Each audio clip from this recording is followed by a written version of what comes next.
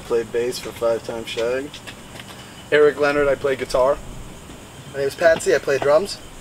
My name's Scotty, and I uh, sing in the band. Together since 2012, 2011. Rock, rock and roll, like funk, Punk. a little punk. We're a little more progressive, you know. You know, we kind of tend to. Depends on our mood. Like Yeah. a death, death polka mostly. As long as we find the right accordion player, we're, we're all good.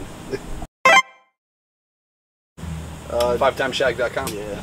Uh, Spotify, Spotify. Five Time Shag. Our YouTube. Facebook, YouTube, Yeah. some YouTube iTunes. stuff. Pandora, right? Amazon Music thing. Yep.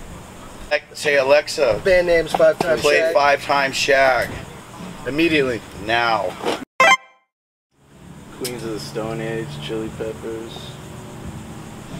Eagles No of Death Effects. Metal, NOFX, No Old Punk. I mean, but we, I mean, it's, you get in the car and listen to anything. I mean, you could listen to Sinatra and then go right into Yeah, Wu-Tang. definitely listening to I've been getting into a lot lately with Royal Blood.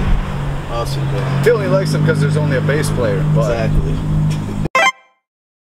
All right. What makes you lose track of time? Copious amounts of Fireball.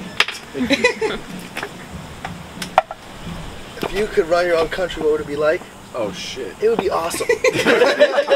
To sum it up, mostly It awesome. would be the shit. What random act of kindness could you perform right now? Does anybody need a shiatsu or what? What is most important to you?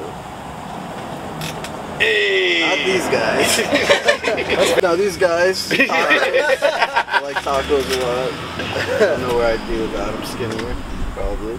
Unhappy. Family, of course. Yeah, that's, that's it.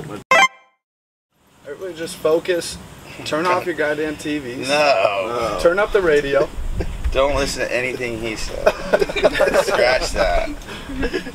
Listen to whatever Scotty says. We're gonna lose something if we don't figure out how we're gonna get this figured out because music and musicians and art is suffering because of this as well and, and they're focused on other things. You have to look at everybody and it's not just about the money, it's, it's just people's jobs people's lives. Let's go forward. Thanks for having us. Thank you.